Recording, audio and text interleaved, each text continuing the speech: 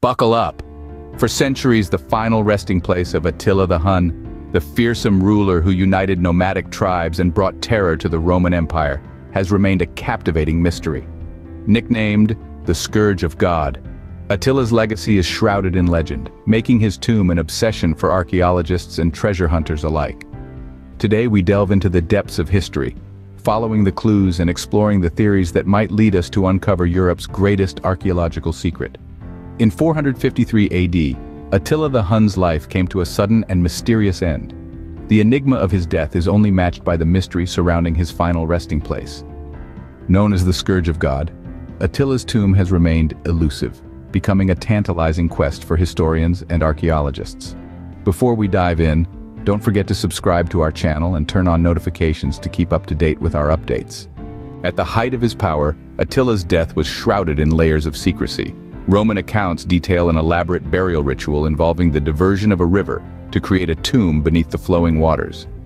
On the other hand, Hunnic tales describe a hidden burial chamber deep in the earth. The secrecy surrounding his burial has only added layers to the intrigue of Attila's tomb. Clues to the tomb's location are scattered throughout ancient texts and oral traditions. Texts allude to burial mounds near the Danube River, while legends suggest locations in the Carpathian Mountains.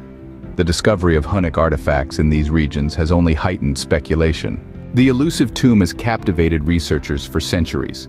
From 19th century excavations to modern geophysical surveys, exhaustive efforts have been made to locate Attila's final resting place.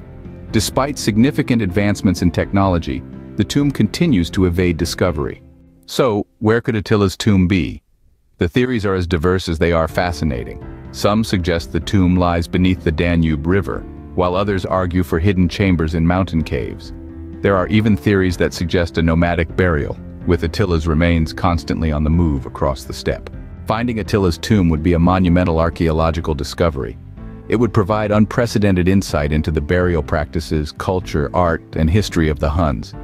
It could potentially rewrite our understanding of a pivotal period in European history, shedding new light on the reign of the Scourge of God. The mystery of Attila the Hun's tomb continues to captivate the world. While its location remains a mystery, the search for it underscores the enduring allure of history's unsolved puzzles. With each passing day, the anticipation grows.